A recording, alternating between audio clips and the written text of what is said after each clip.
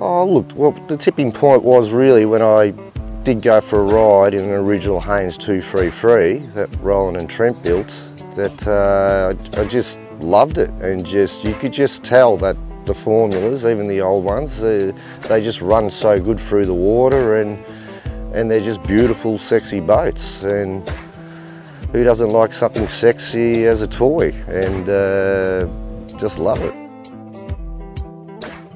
Basically how I got into boating was mum and dad loved to get on the Port Phillip Bay and do their snapper fishing. Coming from a sort of an Italian background, back in those days we were always hand lining.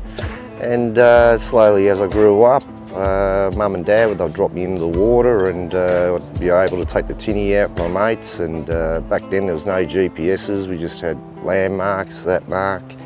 And out we went and we'd catch some fish and then in the afternoon we'd do a little bit of scurfing up and down Mills Beach there in Mornington and just had a ball and uh, slowly just moved up to buying a little bit bigger boat and then a little bit bigger boat up until what we've purchased here and um, yes, now we're in this beautiful boat. If the weather does turn on us, I know this boat's going to get me home. Previous boats, we are pretty much ready to ring the Coast Guard and so I put out a pan pan. Um, whereas this boat here, I know that I can just take it easy and we can push through some rough conditions.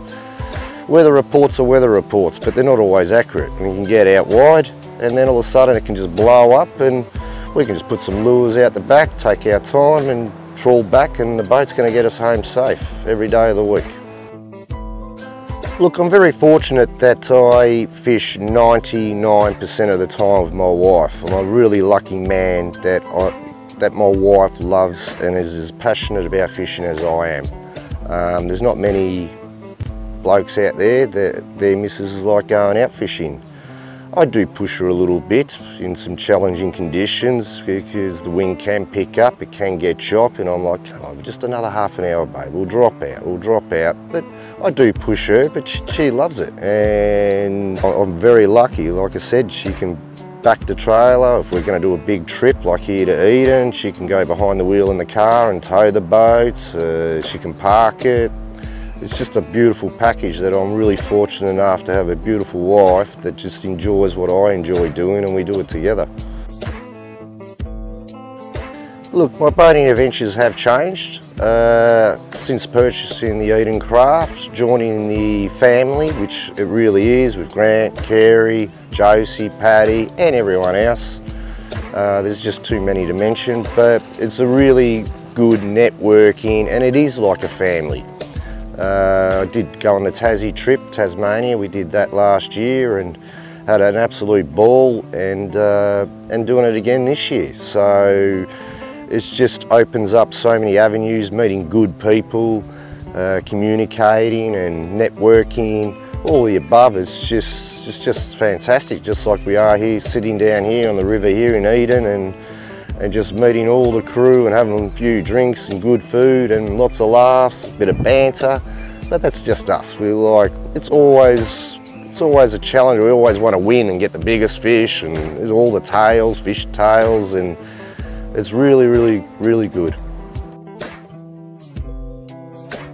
I do believe if you're considering yourself buying an Edencraft, I think you should get in the car, should head down to Geelong there, do a factory tour, meet all the crew, meet the boys that build them and see the quality and the time and what goes into building these boats. They're second to none. They are just built tough, strong and the sex appeal of them. The finish on them is just beautiful and every boat that comes out of that factory Grant and Carey and Josie and Paddy and the whole crew, they should be very, very proud of how they've built the company up and the product that they have rolling out that door.